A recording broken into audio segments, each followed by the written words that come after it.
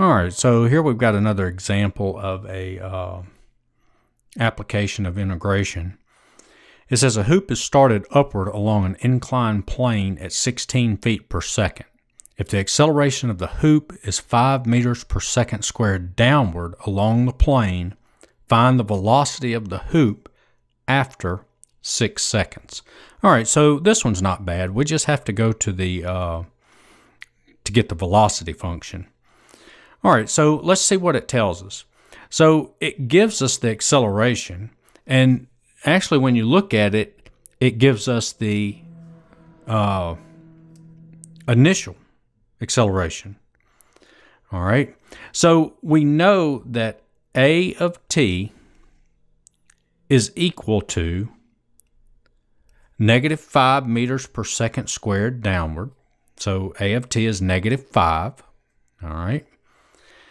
And we also have a condition on it that a of 0 is equal to, I'm sorry, not a of 0. v of 0 is equal to uh, 16 feet per second. All right. So so this we get from here. It says a hoop is started upward along an inclined plane at 16 feet per second. Okay, that's this.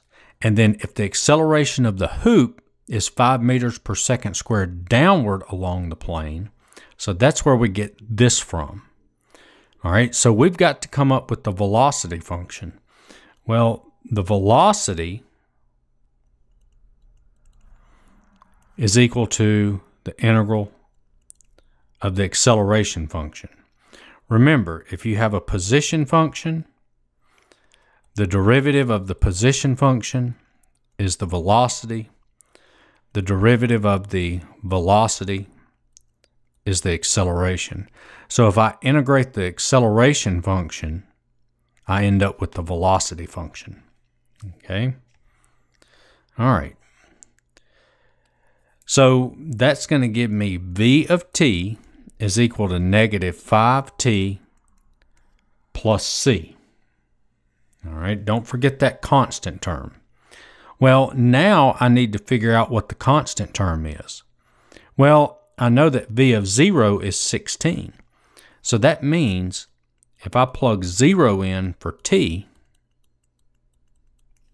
all right, I plug 0 in for t because of this, that should equal 16. And so this tells me that C is equal to 16. So now I can put that my velocity function is negative 5t plus c, which in this case is 16. So there's my velocity function. So what does this want to know? It says find the velocity of the hoop after 6 seconds. So when t is 6, what is the velocity?